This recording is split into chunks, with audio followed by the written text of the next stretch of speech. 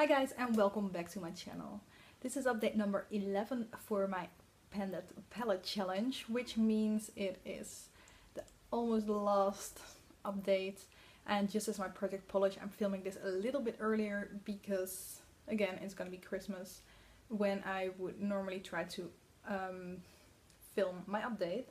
So I'm gonna show you my progress now. I didn't get as far on the shadows as I wish I had because I had a week less to work on it, but I still made pretty nice progress if you ask me, and I have a week more to show you the final result, so I guess that's a pro in this.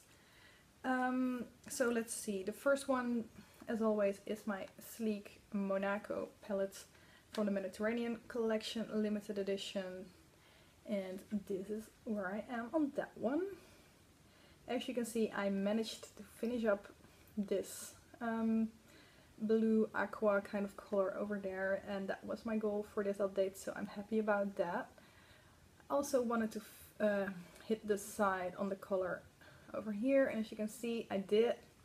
I only did it today but I did it and I've also worked my way this way a little bit.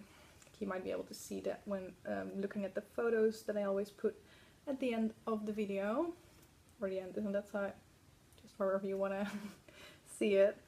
Um, then I've worked on this one quite a bit as well. I was trying to finish half of what was left in the previous update.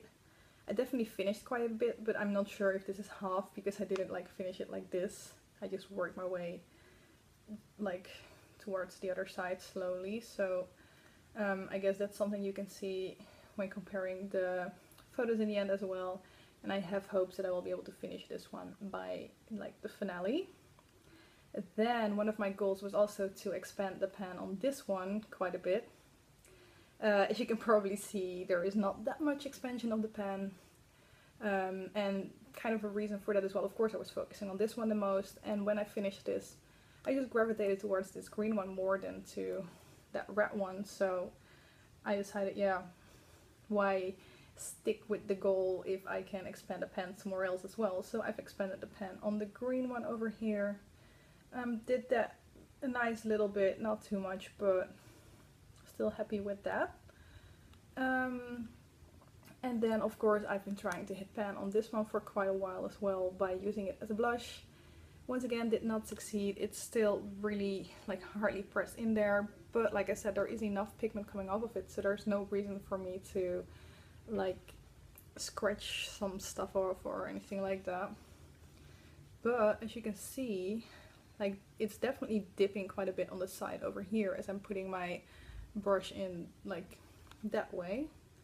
So I'm kind of hoping that at least on that side I will be able to hit pan by the next update, but I'm not sure. We'll see. I definitely won't be able to finish that one by the finale, but I guess I'm gonna throw this one in as kind of a rollover to my uh, 2017 project's uh, Pan that palette just join it in with the palette that I'm planning to pen for um, that year. So let's see, just let me just set some goals for my next update. I'm hoping to finish this color over here. I'm hoping to hit pan on this one.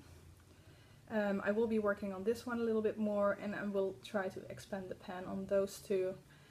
I'm not really thinking I will be able to finish anything apart from this one over here, but that will at least mean I finished 7 out of the 12 colors. Um, which is not great, but there weren't too many neutrals in this palette, so I guess it makes sense that I wasn't able to finish everything while working like in an office environment as well, like trying to keep my eye looks a little bit on the neutral-ish side wasn't really neutral anymore because I've been wearing green and blue and purple and all these type of colors to work. Um, but anyway, I'm still pretty happy with the progress that I managed to make.